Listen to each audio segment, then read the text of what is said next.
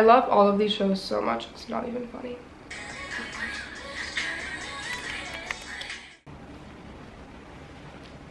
Hello guys, it's Hannah and today I am going to be filming a video that I've been planning on filming for like three months at this point and I'm so excited to finally have my list completed because I'm gonna give you I'm gonna be giving you guys my top Netflix recommendations. I tried to get ones that were somewhat like underrated and not talked about that much so I'm not gonna be recommending you guys Riverdale first of all because it's horrible but also because um, everybody knows it exists like there's literally no point of me recommending you stuff that like is already overhyped on the internet. Sorry to all the Riverdale fans, please do not attack me.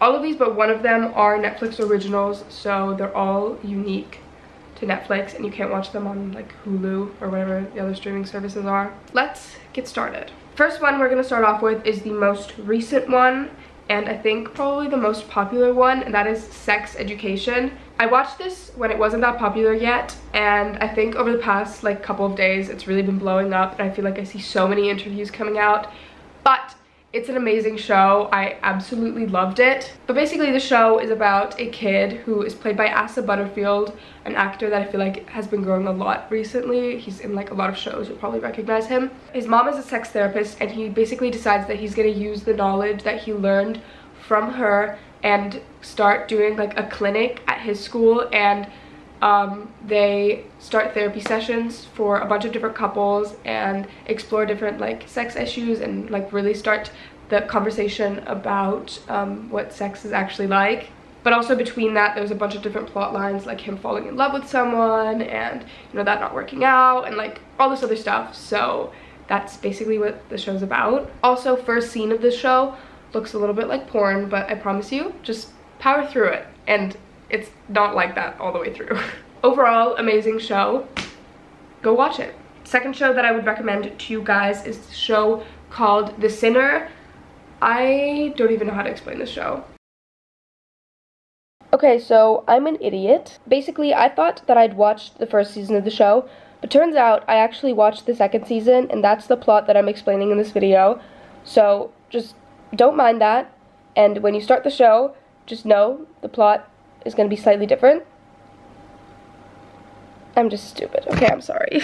it took me a while to get into it, but basically it's about this kid who gets caught murdering these two people and um, it follows as the detectives try to figure out why he did it and it leads into a storyline about a cult and it kind of talks about the effect that that has on the kid and it just I don't know. I thought it was really interesting. I read a book about a cult a couple months ago and I thought that was really interesting as well. I don't know why. I think that topic is just fun to learn about. but yeah, that's a really good show if you're into more mysterious stuff. Sure, sure, sure show.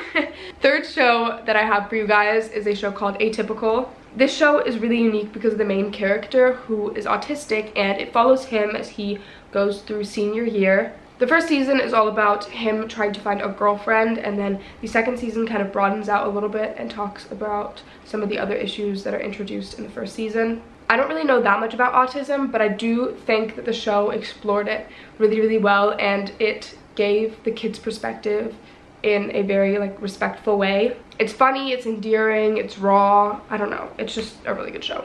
Show number four is Mindhunter. I have only watched a couple episodes of this, but I love it so far. I used to be obsessed with Criminal Minds and this kind of follows a similar concept by exploring um, the like psychological aspect of criminology. It's already won like a bunch of awards and stuff. That just tells you.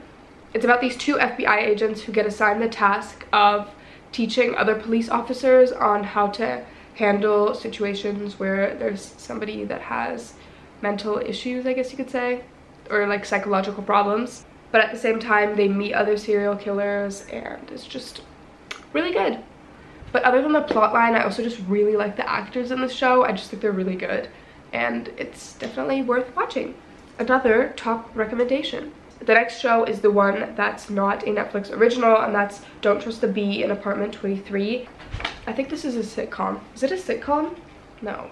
The show's quite old and it only has two seasons. I don't know why it got canceled so early because it's really, really funny. Um, but it's one of those shows where the episodes are only like 20 minutes long, so it's really easy to get through the show really quickly. It's about this girl who moves to New York and she basically is like the super goody two-shoes girl who um, finds this roommate through Craigslist and the roommate is absolutely insane but um, it like contrasts both their personalities in a comedic way.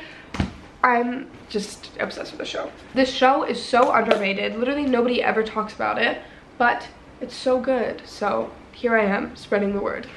This next show is so fucking good. Oh my god. Second to last show is American Vandal. It's another comedy and it is hilarious. In the show, somebody decided to pull a prank and spray paint a bunch of dicks on teachers' cars and the entire school is convinced it's this one student, but he didn't actually do it and in kind of like a documentary style series they try to figure out who actually did it. And then the second season is a different prank and kind of the same idea. I laughed my ass off watching this show i promise you if you watch like the first 20 minutes of the first episode you will be hooked right away. And finally i saved the best show for last. Oh my god this is the best show i've ever watched in my life. Oh my god my nose is like stuffed